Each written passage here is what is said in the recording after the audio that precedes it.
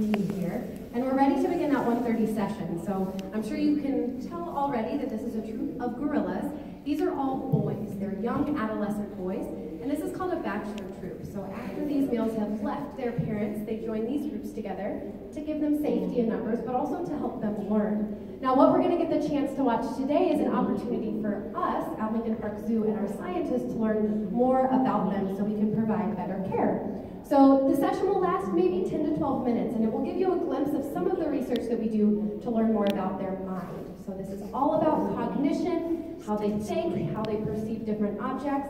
And Azizi will get the chance, that's Azizi back here, he'll get the chance to try two puzzles today. I'm gonna raise this panel, our scientists will show us what those puzzles look like, and then we'll turn the computer to him to participate. Does that sound good? Okay, let's get started. Here are those computers, and here's our scientist, Crystal. So you can see on the bottom of the computer facing us, there's a little white circle. This circle is us asking Azizi, the gorilla, to participate. So if he touches that circle, we know that he's willing and ready to participate today. Now the two puzzles that he'll be doing, one is focused all about an object, an image. Raise your hand if you played matching games as a kid, or even now as an adult. Right? Those matching games are really fun, they help us learn. We're asking Azizi to match a picture of a flower, the one that shows up first, so this orange flower. When he presses that, two flowers will appear. One is the same one he saw the first time, and the other is blue. So we're asking him to match the first picture of the flower with the second image.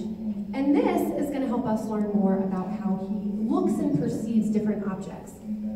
Now the second puzzle Azizi will be doing is all about food. Do you guys like food? Mm-hmm. Right? We're mammals, just like the gorillas. We're highly food motivated. We want to know more about their preferences, their choices when it comes to food. So on the computer today, there's a picture of a carrot and a picture of an apple. So the carrot is the orange one, and the apple's a little bit smaller, um, but it is cut into the same shape, the same size. So whichever image Azizi chooses, if he chooses the apple, he'll get a piece of food reward from our scientist Crystal, the same reward that he touched. So this lets us know which food items he prefers when we're comparing them with each other. Now, all of this research is voluntary, so Azizi or any of the other apes in here that participate, they never have to. It's voluntary, it's a choice for them, and that helps us maintain a really positive experience around this research. We're not going to make them do anything they don't want to, nor could we. We always want it to be positive. That goes the same way if Azizi is making a mistake. So with the food preference, there's no mistake. He's just showing us, showing us which food he prefers, but with that matching puzzle, he can make a mistake. He can press the yellow flower instead of the blue one. And when he does the wrong puzzle, when he does the wrong choice, he hears a different sound. It's called a buzzer. And then he doesn't get the food reward that time, but he always gets the chance to try again. So there's no negative reinforcement, there's just always the opportunity to try over look at how patient Crystal is, waiting for Azizi to come over. We want to respect him. We want to respect his social structure. That's why we're on this side of the mesh, as well as his size. Azizi's about 400 pounds, so we never go in there with any of the apes that we care for. And Azizi's, no, Crystal, is even respecting Azizi's health. So you might notice that she's wearing a mask and gloves when she's delivering those pieces of food rewards. This is to ensure that Azizi stays healthy, because you and I, we are primates too, so we can share the same germs with them, and we always, always want to keep them healthy. All right, so it looks like Azizi is trying that matching puzzle first. So again, he'll see an image of one flower, for instance, the blue one on my tablet here, and then when he presses that flower, two flowers will appear. And we want him to match the first flower that he saw with those dual pictures of flowers. Now, I just have a blue and yellow flower on my tablet to show you what they look like, but Azizi is going to see upwards of 15 to 20 different flowers when he's doing this matching. So he's not seeing the same color, the same shape at all. We're always mixing those up, so there's a variety with him. And that helps us learn really how he's looking at these objects differently. Azizi, goodness gracious, he's 13 years old. He is still an adolescent, he's not an adult yet, but he's been working with a touchscreen computer since this building opened in about 2005. So he has done a variety of different puzzles, and he will continue to do more puzzles because it's really good enrichment. It provides him good mental exercise, which is really important for apes and primates, but it also is helping us learn more about him. So the future puzzles that we do, if we can tell how he is noticing the difference between those symbols, we can gain a bigger understanding of the work that he's doing. So with these flowers, is he noticing the shapes? Is he noticing the lines in the flowers? Or is he noticing the color of the flowers? Because he can't see color just like you and I. We don't know yet, but this puzzle, this match to sample, will hopefully help us learn more. We're really excited about that. So the big benefit for Azizi right now is providing that mental exercise each and every day.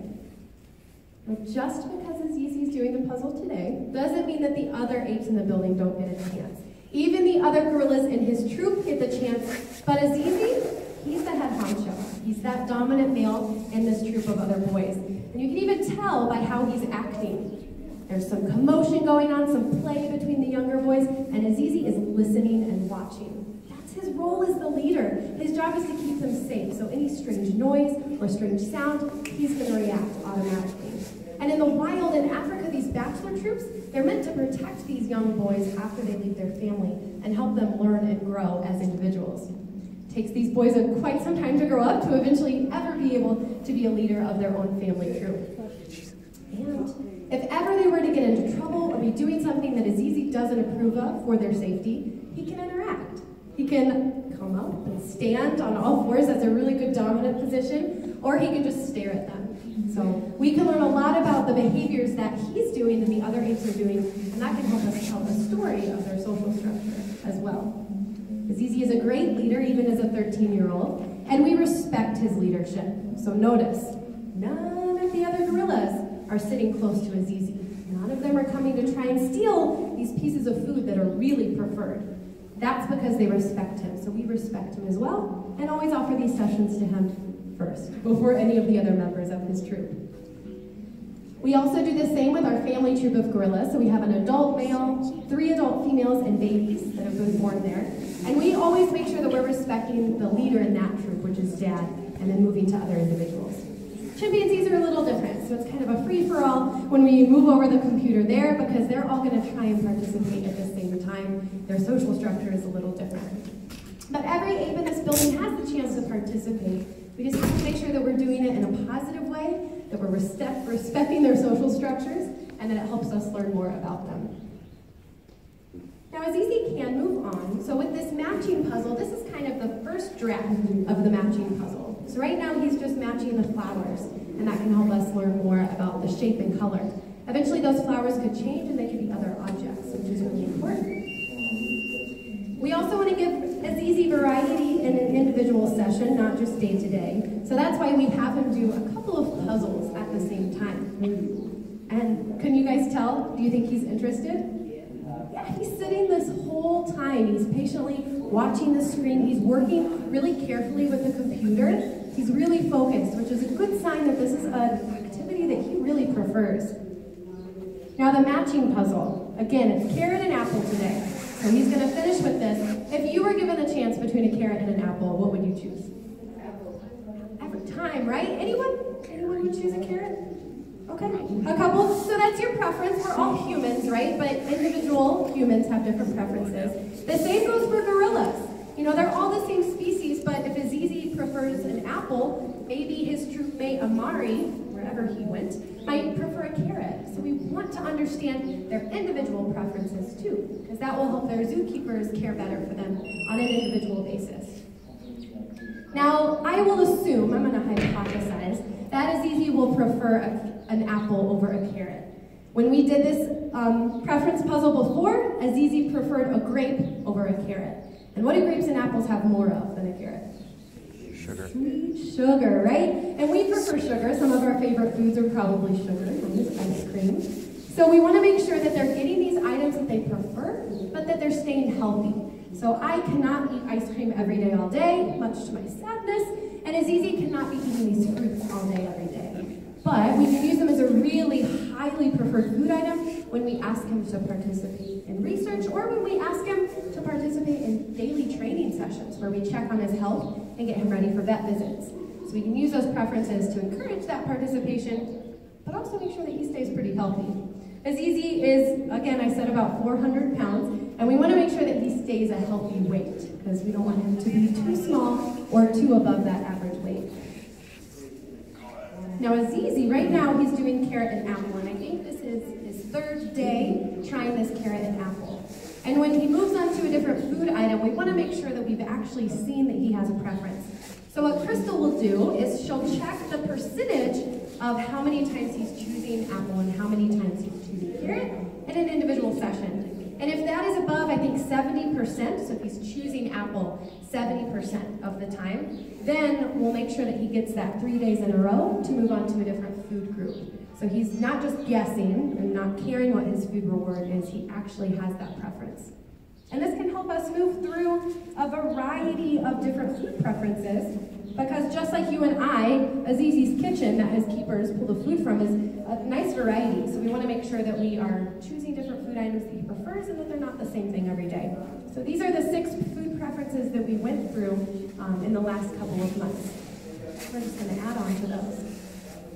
So this again will help us care better for him training sessions. It gives Azizi that really good mental stimulation and it really just helps our science department, which is what Crystal works for here, and our animal care department work really well together.